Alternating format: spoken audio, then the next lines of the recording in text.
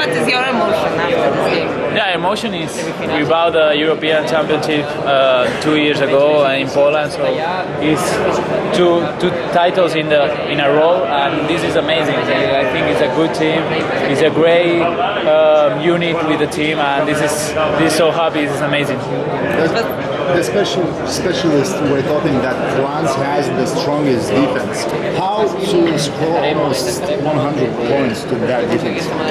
Yeah, absolutely. France is playing great this tournament, and they playing um, very aggressive in defense. Uh, they play unit and they play aggressive.